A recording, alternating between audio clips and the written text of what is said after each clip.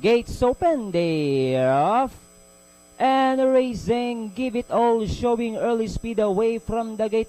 Moving up in the middle portion, Zapima then racing in third is River Mist. Then comes runner number six, Magic Square. Running third last is Angel Brule. Then second last is Lourdes Drive and Play It Safe heading towards the 900 meter mark. Two runners out for the lead. Zapima enjoying a 3-4 Palenka.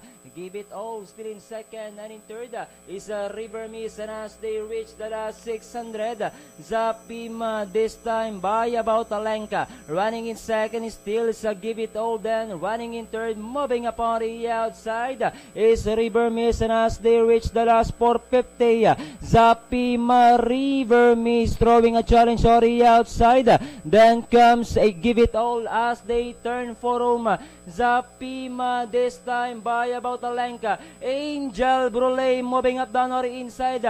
Three wide River Mist played safe. Give it all and down the stretch they come.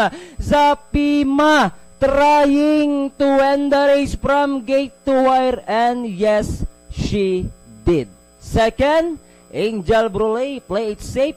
River Mist then comes runner number seven, Give It All, Magic Square, and Lourdes Drive. Okay, from gate to wire.